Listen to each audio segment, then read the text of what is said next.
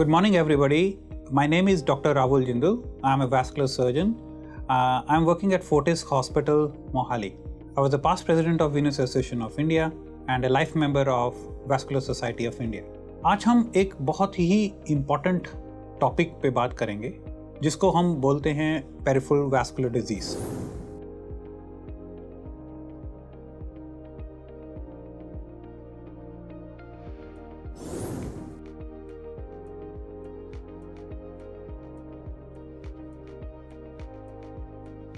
आप सब लोगों ने सुना होगा हार्ट अटैक, जिसके अंदर खून की नसें हार्ट की ब्लॉक हो जाती हैं और हमें हार्ट अटैक हो जाता है और उसको हमें मेडिसिन से या स्टेंट से या बाईपास करने से पेशेंट को ब्लड सप्लाई हार्ट को इम्प्रूव करते हैं हम। उसी तरह आपने सुना होगा ब्रेन अटैक, जिसको हम स्ट्रोक बोलते हैं एंड उसके अंदर ब्रेन की आर्टरीज ब्लॉक हो जाती हैं और हमारे को स्ट्रोक हो जाता है।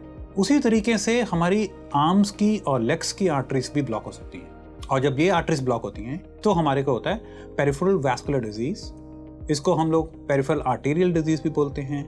एंड इन लेमैन टर्म्स इसको हम लेग अटैक बोलते हैं। तो अगर ये खून की नसें हमारी ब्लॉक हो जाएँ तो हमारे को बहुत तरीके के डिफरेंट सिम्टम्स हो सकते हैं। कई मरीजों को बिल्कुल भी पता ही नहीं लगता कि उनकी आर्टरीज ब्लॉक हो गई अगर वो बिल्कुल इतनी स्लो स्लो ब्लॉक होती हैं और वो अपने रिस्क फैक्टर्स को कंट्रोल कर लेते हैं तो कई मरीजों को साइलेंट आर्टरीज ब्लॉक होती हैं।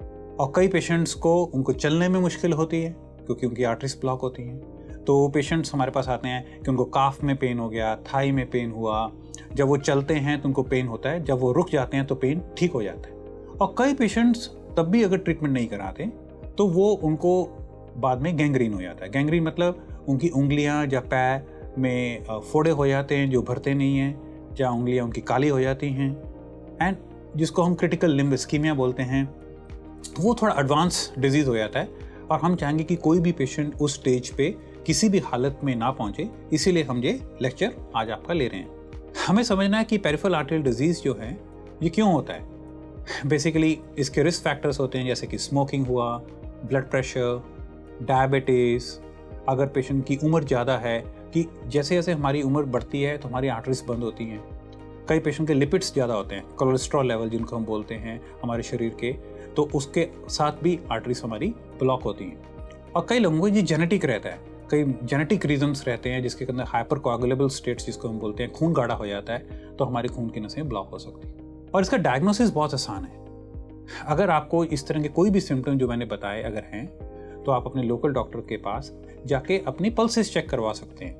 अगर आपकी पल्सेस एबसेंट हैं तो फिर हम एक बहुत सिंपल सा टेस्ट करते हैं जिसको हम डॉपलर और अल्ट्रासाउंड बोलते हैं। उसके अंदर हमारे को एग्जैक्टली पता लग जाता है कि आपकी आर्टरीज कहाँ से ब्लॉक है, कितनी ब्लॉक है। एक बार हमारे को ये डायग्नोसिस हो जाए तो हम इसका ट्रीटमेंट बड़े सिंपली कर सकते हैं मेडिसिन से। अगर पेशेंट जल्दी आ जाए तो हमें किसी भी पेशेंट्स को सर्जरी करने की ज़रूरत नहीं पड़ती है। एंड अगर हम उसके रिस्क फैक्टर्स कंट्रोल कर लें, और हम कुछ मेडिसिन पेशेंट्स को डाल देते हैं, जिससे खून पतला हो जाता है लिपिड प्रोफाइल्स कंट्रोल कर लेते हैं। एंड अगर पेशेंट को डायबिटीज़ या ब्लड प्रेशर है, उसको स्ट्रिक्टली कंट्रोल करते हैं एंड पेशेंट को एक्सरसाइज रजीम्स हम टीच करते हैं, जिससे हम ये आर्टरीज ब्लॉकेज को मेडिसिन से ही ठीक कर सकते हैं। बट अगर पेशेंट्स जल्दी नहीं आए अर्ली स्टेज में नहीं आए तो हमें कई पेशेंट्स के अंदर एंजियोग्राफी करनी पड़ती है।